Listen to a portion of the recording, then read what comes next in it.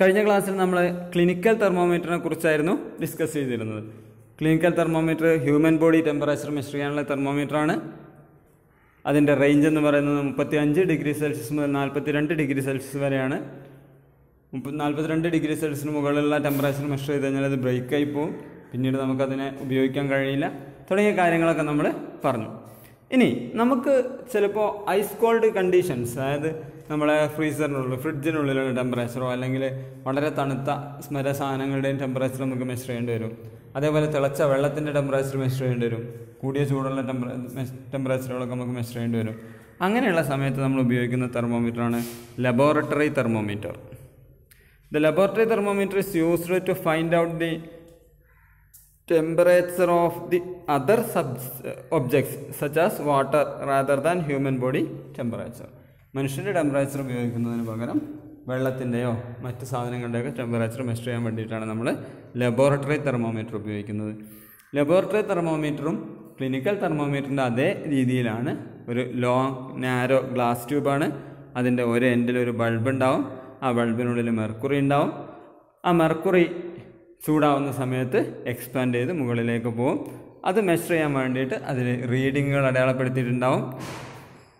എന്നാൽ clinical തെർമോമീറ്ററും laboratory തെർമോമീറ്ററും തമ്മിലുള്ള ഒരു പ്രധാന വ്യത്യാസങ്ങൾ വ്യത്യാസം ക്ലിനിക്കൽ തെർമോമീറ്ററിന് മുകളിലേക്ക് ഉയർന്ന തെർമോമീറ്റർ ലെവൽ താഴോട്ട് വരാതിരിക്കാൻ ഒരു കിങ് ഉണ്ടാവുമെന്ന് നമ്മൾ പറഞ്ഞു. ഒരു ചെറിയൊരു കെട്ടുണ്ടാവും നമ്മൾ പറഞ്ഞു. എന്നാൽ ലബോറട്ടറി തെർമോമീറ്ററിന് അത് ഉണ്ടാവില്ല. അതുകൊണ്ട് തന്നെ ലബോറട്ടറി തെർമോമീറ്റർ ഉപയോഗിച്ച് നമ്മൾ ടെമ്പറേച്ചർ മെഷർ ചെയ്യുന്ന സമയത്ത് എന്താണോ മെഷർ ചെയ്യുന്നത് അതിൽ വെച്ചുകൊണ്ട് ടെമ്പറേച്ചർ മെഷർ ചെയ്യേണ്ടി വരും. മാത്രമല്ല ലബോറട്ടറി തെർമോമീറ്റർ മൈനസ് പത്ത് ഡിഗ്രി സെൽഷ്യസ് മുതൽ നൂറ്റിപ്പത്ത് ഡിഗ്രി സെൽഷ്യസ് വരെയുള്ള ടെമ്പറേച്ചർ മെഷർ ചെയ്യാൻ കഴിയും. മൈനസ് പത്ത് ഡിഗ്രി സെൽഷ്യസ് മുതൽ നൂറ്റിപ്പത്ത് ഡിഗ്രി സെൽഷ്യസ് വരെയുള്ള ടെമ്പറേച്ചർ മെഷർ ചെയ്യാൻ വേണ്ടി ലബോറട്ടറി തെർമോമീറ്റർ കൊണ്ട് നമുക്ക് കഴിയും. ലബോറട്ടറി തെർമോമീറ്റർ ഉപയോഗിക്കുമ്പോൾ താഴെ പറയുന്ന കാര്യങ്ങളൊക്കെ ശ്രദ്ധിക്കണം. Handle the thermometer with care സൂക്ഷിച്ച് കൈകാര്യം ചെയ്യണം. Do not hold the thermometer by the bulb while taking the reading reading എടുക്കുന്ന സമയത്ത് ബൾബിൽ പിടിച്ച് റീഡിംഗ് എടുക്കരുത്. Thermometer should be kept upright not tilted നേരെ കുത്തനെ വെച്ചിട്ട് വേണം ടെമ്പറേച്ചർ മെഷർ ചെയ്യാൻ. ചെരിച്ച് പിടിച്ച് ടെമ്പറേച്ചർ മെഷർ ചെയ്ത് കഴിഞ്ഞാൽ കൃത്യമായ ടെമ്പറേച്ചർ കിട്ടൂല. Bulb should not touch the surface of the container നമ്മളൊരു പാത്രത്തിൽ വെച്ചിട്ട് വെള്ളത്തിന്റെ ടെമ്പറേച്ചറാണ് മെഷർ ചെയ്തതെങ്കിൽ ഒരിക്കലും ഇതിന്റെ ബൾബ് പാത്രത്തിൽ തട്ടരുത്. പാത്രത്തിൽ തട്ടിക്കഴിഞ്ഞാൽ വെള്ളത്തിന്റെ ടെമ്പറേച്ചറിന് പകരം ആ പാത്രത്തിന്റെ ടെമ്പറേച്ചറാണ് നമുക്ക് മെഷർ ചെയ്യാൻ കഴിയുക. അപ്പം നമുക്ക് കറക്റ്റായിട്ടുള്ള ടെമ്പറേച്ചർ മെഷർ ചെയ്യാൻ കഴിയാതെ വരും. ഡിജിറ്റൽ തെർമോമീറ്റർ ഇപ്പോഴത്തെ കാലത്ത് നമ്മൾ ലബോറട്ടറി തെർ ക്ലിനിക്കൽ തെർമോമീറ്ററിന് പകരം നമ്മൾ ഉപയോഗിക്കുന്നത് ഡിജിറ്റൽ തെർമോമീറ്ററാണ് ഹ്യൂമൻ ബോഡി ടെമ്പറേച്ചർ മെഷർ ചെയ്യാൻ വേണ്ടി നമ്മൾ സാധാരണ clinical thermometer narrow glass tube കൊണ്ടുള്ള ക്ലിനിക്കൽ തെർമോമീറ്റർ ഉപയോഗിക്കുന്നതിന് പകരം നമ്മൾ ഉപയോഗിക്കുന്നത് digital തെർമോമീറ്ററാണ് they work on tiny dry cells ചെറിയ ബാറ്ററി ഉപയോഗിച്ചിട്ടാണ് അത് വർക്ക് ചെയ്യുക. നമ്മൾ സാധാരണഗതിയിൽ ക്ലിനിക്കൽ തെർമോമീറ്റർ ഉപയോഗിക്കുമ്പോഴുള്ള ഒരു പ്രശ്നം എന്ന് പറഞ്ഞാൽ അതിലുപയോഗിക്കുന്ന മെർക്കുറിയാണ് ആ മെർക്കുറി പോയ്സണസ് ടോക്സിക് ആണ്.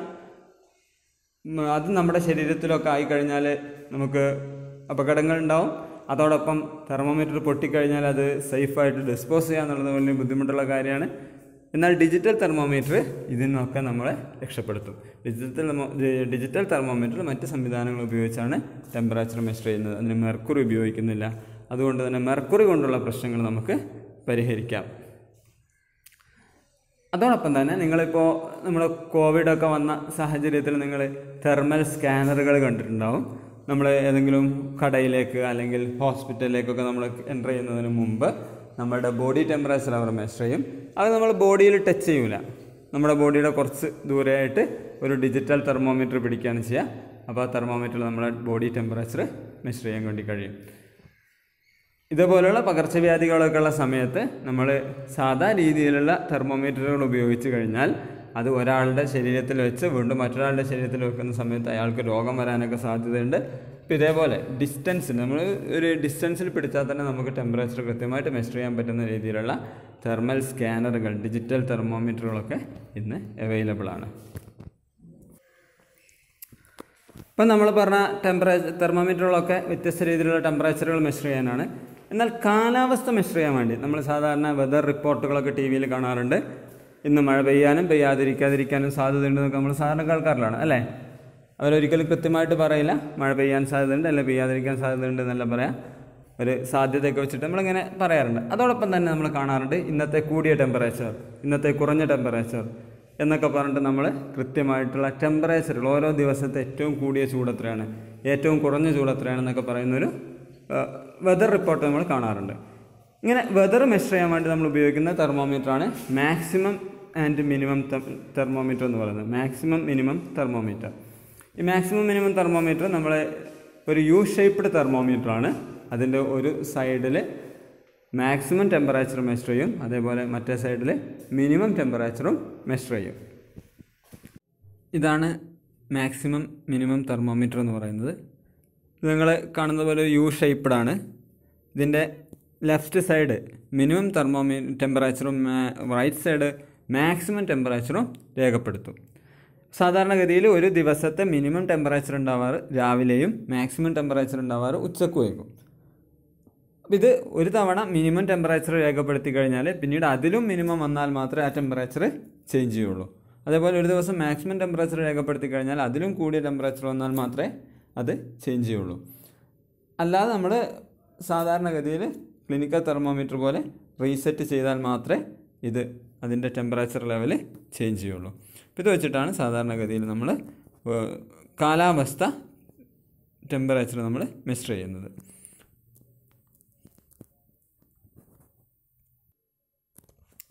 ഇനി നമുക്ക് ഡിസ്കസ് ചെയ്യാനുള്ളത് ട്രാൻസ്ഫർ ഓഫ് ഹീറ്റാണ് നമുക്കറിയാം ഒരു ചൂടുള്ള വസ്തു നമ്മൾ ദോശ ചൂടാനുള്ള കല്ല് അടുപ്പത്ത് വെച്ചു എന്നിട്ട് അത് ദോശയൊക്കെ ചുട്ട് കഴിഞ്ഞ് ഇറക്കി വെച്ച് കഴിയുമ്പോൾ അത് നല്ല ചൂടുണ്ടാവും. നമ്മൾ എന്തെങ്കിലും സാധനങ്ങളൊക്കെ ഉപയോഗിച്ചിട്ട് നമ്മൾ അതിനെ ഇറക്കി വെക്കും. എന്നാൽ കുറേ സമയം കഴിഞ്ഞാൽ ഒരു അര മണിക്കൂർ അല്ലെങ്കിൽ ഒരു മണിക്കൂറൊക്കെ കഴിഞ്ഞ് നമ്മൾ തൊട്ട് നോക്കി അതിന് ചൂടുണ്ടാവില്ല. അതിന്റെ ചൂട് നഷ്ടപ്പെട്ടിട്ടുണ്ടാവും. അപ്പോൾ അല്ലെങ്കിൽ നമ്മൾ സാധാരണഗതിയിൽ ഒരു ചൂടുള്ള വസ്തുവിൽ നിന്ന് ചൂട് കുറഞ്ഞ വസ്തുവിലേക്ക് ചൂടിനെ ഒഴി കടത്തി വിടാറുണ്ട് ഉദാഹരണമായിട്ട് നമ്മൾ കറി അല്ലെങ്കിൽ കഞ്ഞിയൊക്കെ ചൂട് കൂടിയതാണെങ്കിൽ നമ്മൾ അതിനെ നേരെ എടുത്ത് വെള്ളത്തിൽ വെക്കും.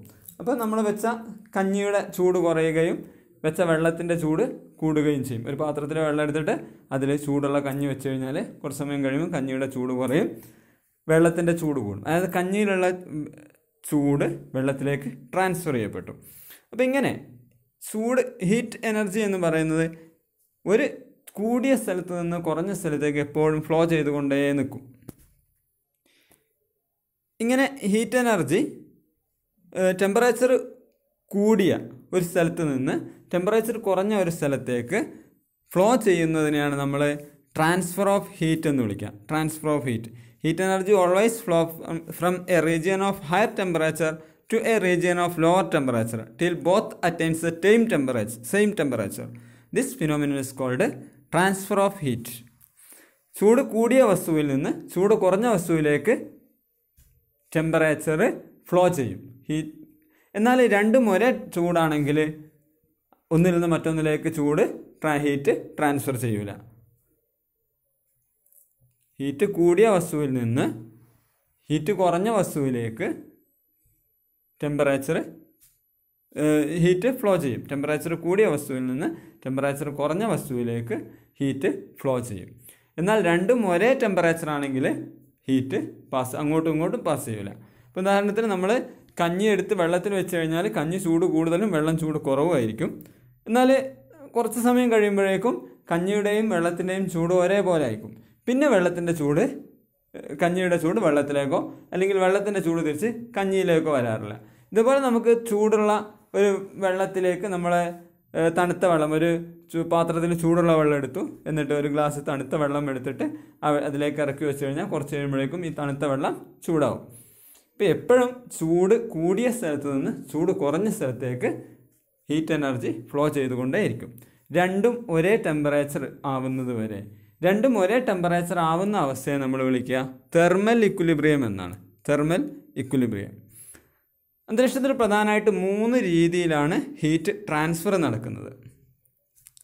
ഒന്ന് കണ്ടക്ഷൻ മറ്റൊന്ന് കൺവെക്ഷൻ മറ്റൊന്ന് radiation conduction convection and radiation മൂന്ന് രീതിയിൽ അന്തരീക്ഷത്തിൽ ഹീറ്റ് ട്രാൻസ്ഫറുകൾ നടക്കുന്നുണ്ട്. ഓരോന്നായിട്ട് വിശദമായിട്ട് നമുക്ക് നോക്കാം. First conduction conduction is the transfer of heat from a hotter part to a colder part of an object due to the collision of its particles without actual movement of the particles from their position അതായത് ഒരു ഇരുമ്പ് സാധാരണഗതിയിൽ നമ്മൾ ഇരുമ്പ് കാണാറുണ്ട്. നമ്മളൊരു ഇരുമ്പിന്റെ ഒരു എൻഡ് ഒരു ചൂടുള്ള സ്ഥലത്ത് വെച്ചു. നമ്മൾ ചിലപ്പോൾ അടുപ്പിലൊക്കെ കൂതുന്ന ഓടക്കുഴൽ എന്ന് പറഞ്ഞ സാധനം ഉണ്ടാവും ഇരുമ്പിന്റെ. അത് നമ്മൾ അറിയാതെ അടുപ്പിൽ വെച്ച് പോയാൽ കുറച്ച് സമയം കഴിഞ്ഞിട്ട് ഇപ്പുറത്ത് വന്ന് പിടിച്ചാൽ നമ്മളെ കൈ പൊള്ളും. അപ്പോൾ ഈ സാധനം മുഴുവനായിട്ട് അടുപ്പിലേക്ക് പോകുന്നില്ല. ഇതിന്റെ ഒരു എൻഡ് മാത്രമേ അടുപ്പിലുള്ളൂ. പക്ഷേ ഇതിന്റെ ഇങ്ങ ഇപ്പുറത്തുള്ള എൻഡും കൂടെ എന്ത് ചെയ്യും? ചൂടാവും. എന്നാൽ അതേസമയം നമ്മൾ വിറകാണ് അടുപ്പിൽ വെച്ചതെങ്കിൽ വിറക് കത്തുന്ന ഭാഗത്ത് മാത്രമേ ചൂടുണ്ടാവുള്ളൂ. അതിന്റെ ഓപ്പോസിറ്റ് എൻഡിൽ ചൂടുണ്ടാവില്ല. മനസ്സിലായില്ലേ? അപ്പോൾ ചില വസ്തുക്കളിലൂടെ ഹീറ്റ് ട്രാൻസ്ഫർ ചെയ്യുക കണ്ടക്ഷൻ വഴിയാണ്. ഇപ്പം എന്താണ് കണ്ടക്ഷൻ കണ്ടക്ഷൻ എന്ന് പറഞ്ഞാൽ അതിന്റെ മോളിക്യൂൾസിൽ നിന്ന് ഒരു മോളിക്യൂളിൽ നിന്ന് തൊട്ടടുത്ത മോളിക്യൂളിലേക്ക് ഹീറ്റ് ട്രാൻസ്ഫർ ചെയ്യും. പക്ഷേ ശരിക്കും ആ മോളിക്യൂൾ ഒരിക്കലും എന്ത് ചെയ്യില്ല മൂവ് ചെയ്യില്ല. നമ്മൾ ഇരുമ്പിന്റെ ഒരു എൻഡ് അടുപ്പിൽ വെച്ച് കഴിഞ്ഞാൽ ചൂടാവുന്ന എൻഡ് തണുത്ത എൻഡിലേക്ക് വരികയല്ല ചെയ്യുക. ചൂടിനെ മാത്രം എന്ത് ചെയ്യും? ട്രാൻസ്ഫർ ചെയ്ത് ട്രാൻസ്ഫർ ചെയ്ത് വിടും. അങ്ങനെയുള്ള ഹീറ്റ് ട്രാൻസ്ഫറിനെയാണ് നമ്മൾ കണ്ടക്ഷൻ എന്ന് വിളിക്കുന്നത്. കണ്ടക്ഷൻ അവിടെ ട്രാൻസ്ഫർ ചെയ്യുന്നത് ഹീറ്റ് മാത്രമാണ് ഒരിക്കലും ആ മെറ്റീരിയലിന് ഒരു മാറ്റവും വരുന്നില്ല. മെറ്റീരിയലിലെ മോളിക്കൂളുകൾ അല്ലെങ്കിൽ മെറ്റീരിയലിന്റെ ഒരു പാർട്ടും ഒരു സ്ഥലത്ത് നിന്ന് മറ്റൊരു സ്ഥലത്തേക്ക് മൂവ് ചെയ്യുന്നില്ല. ചൂട് കൂടിയ പാർട്ട് ചൂട് കുറഞ്ഞ സ്ഥലത്തേക്ക് വരുന്നില്ല. ചൂട് കൂടിയ പാർട്ടിൽ നിന്ന് ചൂട് മാത്രം എന്ത് ചെയ്യും? ഒരു എൻഡിലേക്ക് വരും. ഇത് പരീക്ഷയൊക്കെ വളരെ സിമ്പിളാണ് ഒരു ഇരുമ്പിന്റെ കമ്പി എടുത്ത് അടുപ്പിലിട്ട് കുറച്ച് സമയം പിടിച്ചു നോക്കിയാൽ മതി. ആ ഇരുമ്പിന്റെ കമ്പി അനങ്ങൂല. അതേസമയം നമ്മളെ കൈ ചൂടാവുകയും ചെയ്യും. പരീക്ഷയൊക്കാവുന്ന കാര്യമാണ്. കൈ ചൂടാവുന്നത് ശ്രദ്ധിക്കണം. നമ്മൾ തീയുമായി ബന്ധപ്പെട്ട് കളിക്കുന്ന സമയത്ത് വളരെ പ്രത്യേകം ശ്രദ്ധിക്കണം. കാരണം പൊള്ളലേൽക്കാൻ സാധ്യതയുണ്ട്. അതുകൊണ്ട് തന്നെ വളരെ കെയർഫുള്ളായി മാത്രമേ ഹീറ്റുമായി ബന്ധപ്പെട്ട എക്സ്പെരിമെന്റുകളൊക്കെ ചെയ്യാൻ പാടുള്ളൂ. നമ്മൾ ദോശക്കല്ല് അടുപ്പത്ത് വെച്ചിട്ട് അടിയിലാണ് തീ കത്തിക്കുക ചൂട് മുകളിലേക്ക് വരും. അപ്പോൾ ഈ ചൂട് മുകളിലേക്ക് വരുന്നത് ഈ കല്ലിലൂടെ അല്ലെങ്കിൽ നമ്മൾ വെച്ച മെറ്റീരിയലിലൂടെ ഹീറ്റ് ഇങ്ങനെ കണ്ടക്ട് ചെയ്ത് വരികയാണ്. കണ്ടക്ട് ചെയ്ത് തരും. അപ്പോൾ ഈ മെറ്റീരിയലിലെ മോളിക്യൂൾസിൽ ഇങ്ങനെ ഹീറ്റ് ട്രാൻസ്ഫർ ചെയ്ത് വരും. അതേസമയം മെറ്റീരിയലിന് യാതൊരു അനക്കവും ഉണ്ടാവില്ല. ഓക്കെ അതാണ് കണ്ടക്ഷൻ ഇങ്ങനെ എന്തുകൊണ്ടാണ് മെറ്റീരിയൽ മൂവ് ചെയ്യില്ല എന്ന് പറയുന്നത് എന്നുള്ളത് നമുക്ക് കണ്ടക്ഷൻ പറയുന്ന സമയത്ത് നമുക്ക് മനസ്സിലാവും. നിങ്ങൾ വെള്ളം തിളയ്ക്കുന്നത് കണ്ടിട്ടുണ്ടാവും. വെള്ളം ചൂടാവുന്ന സമയത്ത് വെള്ളം ഇങ്ങനെ ഇളകി കളിക്കും. അതേസമയം ചെമ്പ് ചൂടാവുന്ന സമയത്ത് ചെമ്പ് ഇളകി കളിക്കാറില്ല. അതാണ് വ്യത്യാസം. അതാണ് ഇങ്ങനെ പ്രത്യേകം പറയാനുള്ള കാരണം. എന്നാൽ എല്ലാ മെറ്റീരിയലുകളും ഇങ്ങനെ ഹീറ്റിനെ കണ്ടക്ട് ചെയ്യാറില്ല. ചില മെറ്റീരിയലുകൾ മാത്രമേ ഹീറ്റിനെ കണ്ടക്ട് ചെയ്യാറുള്ളൂ. ചിലത് ഇപ്പോൾ ഞാൻ പറഞ്ഞു വിറക് നമ്മൾ അടുപ്പിൽ വെച്ചിട്ട് ഇപ്പുറത്തെ എൻഡ് പിടിച്ചു കഴിഞ്ഞാൽ നമുക്ക് കൈ ചൂടാവാറില്ല. കാരണം ഹീറ്റ് വിറക് ഹീറ്റിനെ കണ്ടക്ട് ചെയ്യൂല. അപ്പോൾ the objects that can allow the heat flow allow heat to flow through them are called conductors ഒരു മെറ്റീരിയൽ അതിലൂടെ ഹീറ്റിനെ ഫ്ലോ ചെയ്യാൻ അനുവദിക്കുമെങ്കിൽ അതിനെ നമ്മൾ വിളിക്കുന്ന പേരാണ് conductors for example metal such as copper and aluminium മെറ്റലുകളൊക്കെ conductors ആണ്. എല്ലാ മെറ്റലിലൂടെയും ഹീറ്റ് ട്രാൻസ്ഫർ ചെയ്യാറുണ്ട്. ട്രാൻസ്ഫർ ചെയ്യുന്ന ഹീറ്റിന്റെ അളവിലൊക്കെ വ്യത്യാസങ്ങൾ ഉണ്ടാവും നിങ്ങളെ വീട്ടിൽ മീറ്റർ സ്കെയിൽ നമ്മൾ ഇരുമ്പിന്റെ മീറ്റർ സ്കെയിൽ ഉണ്ടെങ്കിൽ നിങ്ങൾക്ക് സിമ്പിളായിട്ട് ഇത് പരീക്ഷിച്ച് നോക്കാവുന്നതാണ്. മറ്റൊന്നുള്ളത് ഇൻസുലേറ്റേഴ്സ് ആണ്. ഇൻസുലേറ്റേഴ്സ് എന്ന് പറഞ്ഞാൽ the object that do not allow flow of heat through them called insulators wood plastic പോലുള്ള സാധനങ്ങളൊക്കെ അതിലൂടെ ഹീറ്റിനെ കണ്ടക്ട് ചെയ്യാൻ സമ്മതിക്കില്ല ഹീറ്റ് അതിലൂടെ ഫ്ലോ ചെയ്യൂല. അപ്പോൾ ആ സാധനം ചൂടാവില്ല ഉദാഹരണത്തിന് നമ്മൾ വീട്ടിൽ പ്രഷർ കുക്കറുകൾ ഉപയോഗിക്കാറുണ്ട് അല്ലേ? നിങ്ങൾ പ്രഷർ കുക്കർ കണ്ടിട്ടില്ലെങ്കിൽ ഒന്ന് പോയിട്ട് എടുത്ത് നോക്കുക. പ്രഷർ കുക്കർ നോക്കിയാൽ നിങ്ങൾക്ക് മനസ്സിലാവും കുക്കർ ഉണ്ടാക്കിയിട്ടുള്ളത് ഒരു മെറ്റലോണ്ടായിരിക്കും നമ്മൾ അടുപ്പത്ത് വെച്ച് കുറച്ച് സമയം കഴിഞ്ഞിട്ട് കുക്കർ തൊട്ട് കഴിഞ്ഞാൽ നമ്മുടെ വിരൽ പൊള്ളും കാരണം കുക്കർ ചൂടാവും. എന്നാൽ അതിന്റെ ഹാൻഡിലോ അതിന്റെ പിടി പിടി ചൂടാവില്ല. നമ്മൾ കുക്കറിൽ സാധനം പാചകം ചെയ്ത് വെന്ത് നാല് വിസിൽ കഴിഞ്ഞിട്ട് നമ്മൾ സിമ്പിളായിട്ട് അതിന്റെ ഹാൻഡിൽ വെച്ചിട്ട് നമ്മളത് പിടിച്ചെടുക്കും. കാരണം അതിന്റെ പിടി പ്ലാസ്റ്റിക് ആണ് അത് ഹീറ്റ് കണ്ടക്ട് ചെയ്യില്ല എന്നാൽ അതിനുള്ളിലുള്ള മെറ്റൽ ചൂടായിട്ടുണ്ടാവും. പക്ഷെ ആ ചൂട് പ്ലാസ്റ്റിക്കിലേക്ക് ട്രാൻസ്ഫർ ചെയ്യില്ല അതുപോലെ തന്നെ നമ്മൾ ഉപയോഗിക്കുന്ന യൂട്ടിൻസിൽസിന്റെ വീട്ടുപകരണങ്ങളുടെ പലതിന്റെയും ഹാൻഡിൽ പിടി എപ്പോഴും പ്ലാസ്റ്റിക്കോ അല്ലെങ്കിൽ മരമോ ആയിരിക്കും ഇത് രണ്ടും ഹീറ്റിനെ കണ്ടക്ട് ചെയ്യില്ല എന്നാൽ യൂട്ടൻസിൽസ് മുഴുവനും നമ്മൾ അധികം ഉണ്ടാക്കാറ് മെറ്റൽ കൊണ്ടാണ്. അപ്പോൾ മെറ്റൽ ഹീറ്റിനെ കണ്ടക്ട് ചെയ്യും. വുഡ് അല്ലെങ്കിൽ പ്ലാസ്റ്റിക് പോലുള്ള സാധനങ്ങളൊന്നും ഹീറ്റിനെ കണ്ടക്ട് ചെയ്യാറില്ല. അപ്പോൾ കണ്ടക്ടേഴ്സും ഇൻസുലേറ്റേഴ്സും രണ്ടും നമുക്ക് വളരെ അത്യാവശ്യമുള്ള സാധനങ്ങളാണ്. ഈ കണ്ടക്ടേഴ്സും ഇൻസുലേറ്റേഴ്സും നമ്മൾ ഇലക്ട്രിസിറ്റിയുടെ കേസിലും പറയാറുണ്ട്. ഇലക്ട്രിസിറ്റി ഫ്ലോ ചെയ്യാൻ അനുവദിക്കുന്ന കറണ്ട് പാസ് ചെയ്യുന്ന മെറ്റീരിയൽ നമ്മൾ കണ്ടക്ടേഴ്സ് എന്ന് വിളിക്കും. കറണ്ട് പാസ് ചെയ്യാൻ അനുവദിക്കാത്ത മെറ്റീരിയലുകൾ നമ്മൾ ഇൻസുലേറ്റേഴ്സ് എന്ന് വിളിക്കും. നമ്മൾ വീട്ടിലൊക്കെ വയറിങ്ങിനൊക്കെ ഉള്ളിലൂടെ മെറ്റലാണ് പോവുക കണ്ടക്ടറാണ് അതിനെ കവർ ചെയ്തുകൊണ്ട് പ്ലാസ്റ്റിക് ഉണ്ടാവും. അത് നോൺ മെറ്റലാണ് അല്ലെങ്കിൽ നമുക്ക് ഷോക്ക് അടിക്കും. ഓക്കെ ഇതേപോലെയാണ് നമ്മൾ വീട്ടുപകരണങ്ങൾ അടുപ്പത്ത് വെച്ച് ചൂടാക്കുന്ന പാത്രങ്ങളൊക്കെ മെറ്റലാണെങ്കിൽ മാത്രമേ നമ്മളുടെ ഭക്ഷണം പാചകം ചെയ്യാൻ കഴിയുള്ളൂ.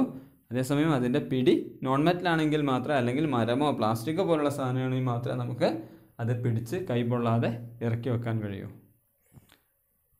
ഇതാണ് ഇൻസുലേറ്റേഴ്സും കണ്ടക്ടേഴ്സും.